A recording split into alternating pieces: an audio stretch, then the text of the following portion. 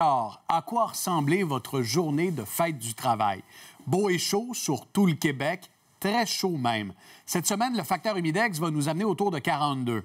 Environnement Canada a même émis un avertissement de chaleur, mais des belles journées en septembre, il y en a souvent eu. À Montréal, par exemple, un 4 septembre en 99, le mercure était grimpé jusqu'à 33 degrés. N'empêche, il y a des écoles qui ne prennent pas de chance cette fois-ci.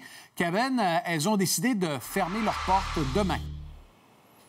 Oui, quelques établissements scolaires en Outaouais et ici à Boucherville, à l'école secondaire de, Mortagne. On explique ça en raison des travaux qu'il y a ici euh, à l'école, de l'avis d'ébullition d'eau et par la météo.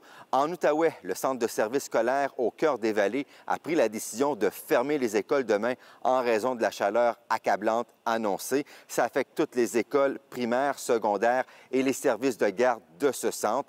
À Montréal, cette situation inquiète de nombreux enseignants, selon l'Alliance des profs, qui a fait la demande au Centre de services scolaires de Montréal de fermer mardi. Ça a été refusé parce qu'on prévoit du temps très chaud et humide. Ce sera comme ça jusqu'à mercredi avec le mercure qui sera à la hausse. Voici la présidente du syndicat suivie de quelques parents. On a eu beaucoup de, profs qui nous ont interpellés pour nous dire justement qu'ils étaient inquiets euh, par rapport à la chaleur qu'il allait avoir demain dans leur classe, dans les écoles. Nos écoles qui sont très, très vieilles dans la grande majorité et qui sont vétustes sont vraiment pas du tout adaptées non plus à ce genre de température-là. Donc, euh, on a très peu d'écoles qui ont, qui, ont, qui ont de l'air climatisé. Je suis une enseignante à la retraite. Puis effectivement, quand il fait 30 degrés dans une classe, c'est infernal. Surtout que les ratios sont très élevés maintenant dans les classes. Parce que les enfants, ils ont joué toute la journée, ils ont fait du sport toute la journée, ils sont capables d'être en classe euh, un petit moment puis de juste aller à l'extérieur un petit peu plus. Demain, les écoles devraient être fermées. Un petit peu trop chaud pour nos jeunes dans des écoles non climatisées. Pas des conditions optimales pour apprendre. Pas du tout. La concentration n'est pas là à ce moment-là.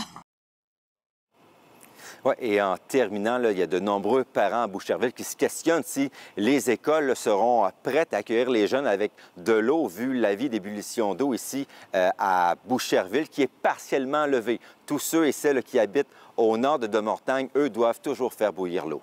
Bon, ce sera à suivre. Merci, Kevin. Au revoir.